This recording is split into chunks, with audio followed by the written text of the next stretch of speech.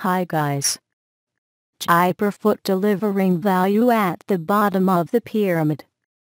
Case solution and analysis. This scenario targets at clarifying the demands, assumptions, and also the psychological science of the consumers coming from all-time low of the pyramid through clarifying the options which a BOP consumer possesses, although creating acquisition choice for any type of product slash services. An effort has actually been actually created to embody the BOP portion, as a portion, that chooses top quality, review options as well as is actually incredibly watchful prior to allowing deliverables. Thanks for watching this video.